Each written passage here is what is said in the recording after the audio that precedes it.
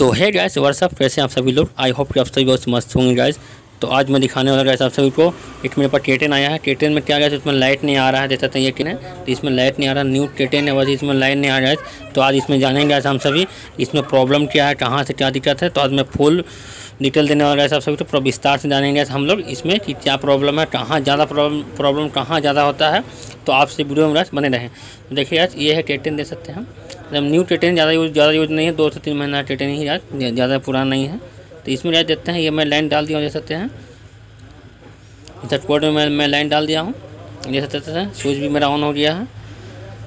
ये आपको देखें, इसमें मैं इसे चढ़ाता हूँ, देख सकते हैं गैस देखिए इसमें चढ़ाया हूँ बट इसमें लाइन देखें लाइन इसमें नहीं आ रहा, देख सकते हैं। मैं स्विच भी ऑन ऑफ़ कर रहा हूँ, देख सकते हैं, इसमें लाइट बिल्कुल ही नहीं आ रहा है, देख सकते हैं।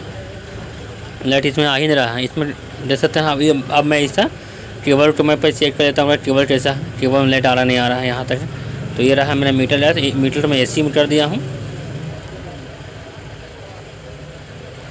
तो देखिए यार, मैं इसमें डाला लाइन देखिए, यहाँ लाइन बता रहा है, इसमें लाइन आ रहा है इसमें लाइन से प्रॉब्लम नहीं है। ये ठीक है, केबल ठीक है मेरा। और इसमें प्रॉब्लम है, ये केटन से तो ज़्यादा प्रॉब्लम है। सूज से होता तो पहले मैं सूज से पैसे गैस इतना चेक कर लेता हूँ सूज कैसा है, क्या है, नहीं है। तो ये रहा गैस सूज देखिए, मैं सूज से ये इससे वायर निकाल दिया हूँ ये खोल ढक्कन इसे खोल दिया हूँ, कवर खोल दिया हूँ, अब इसका सूज से मैं इसका तार निकाल दिया हूँ। अब मैं इसे डायरेक्ट देता हूँ लाइन डाल के, ये काम करता नहीं चाहता यदि काम करता तो सूज से प्रॉब्लम हो गया देखिए, मैं इसको, इस पर चढ़ा दिया हूँ। देख सकते हैं लाइन नहीं आ रहा, चढ़ा दिया हूँ सूच इसलिए गैस ये खुला हुआ है। अब मैं इसे डायरेक्ट चल के देखता हूँ, इसमें लाइट आ रहा है कि नहीं आ रहा है गैस देख सकते हैं। तो देखिए यार, इसे मैं यहाँ सटा रहा हूँ, देखें। तो देखिए यार, ये मैं सताया तो इसमें देखिए फाइनली देखिए यार, इसमें लाइन आ गया है।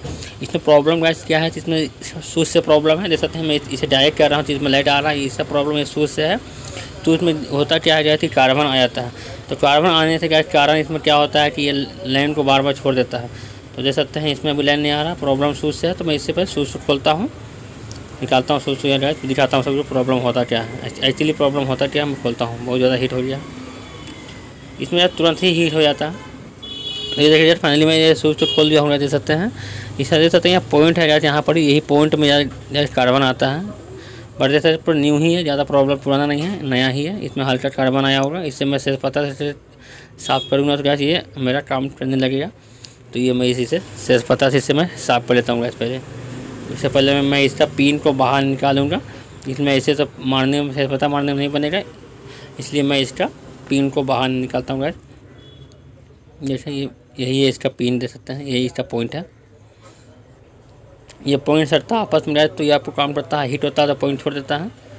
तो देखिए गैस इसका मैं पॉइंट बाहर निकाल दूँ इसको इसको अच्छे तरी, तरीके से इससे से पता मार के इसे पॉट क्लियर करूँगा कार्बन हल्का भी नहीं रहना चाहिए। कार्बन रहेगा तो ये काम सही नहीं करेगा, देख सकते हैं। इसका पॉइंट में लगा दिया हूँ, इसे भी मैं लगा दिया हूँ देख सकते हैं। और इसे मैं ऐसे पूरा फीट फाट लगा के इसे मैं फीट फाट पॉट कर दिया हूँ देख सकते हैं। ये पूरा फीट फाट मेरा हो गया है देख सकते हैं। ये सब प्रॉब्लम था इसका पॉइंट से तो देखिए तो मेरा ये बता रहा है देख सकते हैं। ये मेरा ये कंटिन्यूटी में नाप रहा हूँ तो ये सही काम कर रहा है।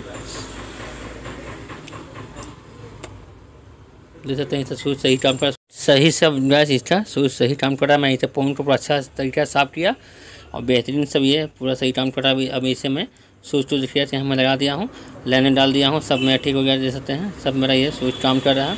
अब मैं इसे चेक करूँगा उसमें डाल के चेक करूँगा कैसा काम करने कर रहा है दे सकते हैं, इसमें मैं अब डाल दिया हूँ दे सकते हैं गैस अब मैं इसे गैस देख सकते हैं, ये हो गया, अब मैं इसे चढ़ा के पूरा दिखाता हूँ सभी गैस हीट करके दिखाता हूँ दे सकते हैं।